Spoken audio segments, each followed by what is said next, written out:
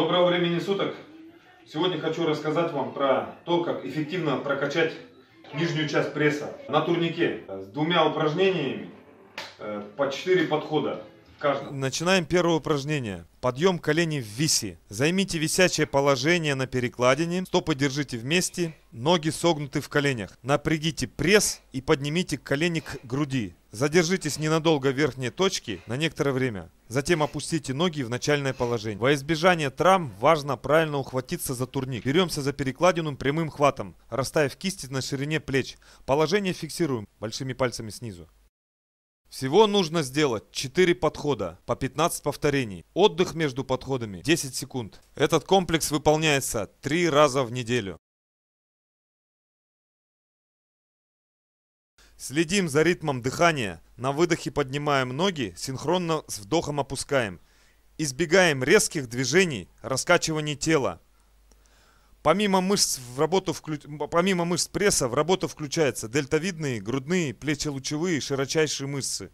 Нагрузятся бицепс, трицепс, плечевой пояс. Занятия на перекладине позволят получить стальной пресс. Именно на турнике можно оптимально накачать косые мышцы живота и к тому же выравнивается позвоночный столб. При регулярных тренировках три раза в неделю результат появится в виде упругого живота, подтянутых боков, ровной осанки – это уже повод, чтобы включить упражнение для прокачки пресса на турнике в тренировочную программу. Это начальное упражнение, упрощенный вариант. Затем, когда вы уже дойдете до профессионализма, надо делать упражнения с прямыми ногами.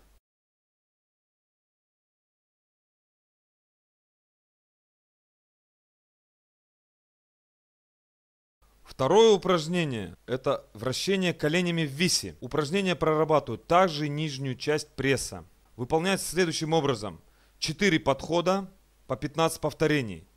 Отдых между подходами – минута. Начинаем в висячем положении с поднятыми коленями, сохраняя пресс в напряжении. Опустите колени сначала в правую сторону, затем поднимите через левую сторону, потом наоборот.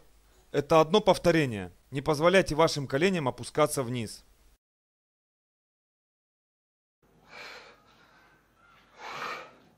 Хорошо прокачивается. Косые мышцы, прямые. Прям это простой вариант. Затем будет усложненный. Когда усложненный будет, это ноги на уголке и пошел полувер. Почувствуйте работу косых мышц. Не делайте резких движений, контролируйте плавность подъема и опускания. Упражнение несложное, но не теряйте концентрацию. Особенности этого упражнения. Боковые подъемы на перекладины направлены на проработку косых мышц живота и зоны боков. Отличное упражнение умеренной сложности, которое добавит эффективности вашей тренировочной программе на турнике. Не выполняйте упражнения на пресс на турнике, если вы совсем начинающий. Чрезмерные нагрузки на слабый кор могут вызвать боли в спине. Укрепляйте хват, если вам тяжело висеть на перекладине. Достаточно регулярно висеть на турнике по 10-15 секунд в несколько подходов, раз за разом увеличивая время. Также не забывайте выполнять и другие упражнения на пресс, то есть скручивание, планки, подъемы ног.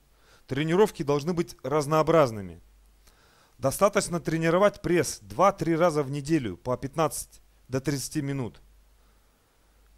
На турнике удобнее, удобнее тренироваться в специальных спортивных перчатках. Ну вот я и показал вам, как качается пресс в двух упражнениях на турнике. Делайте, будет у вас мощный пресс. Спасибо за просмотр, ставьте лайк, до скорой встречи.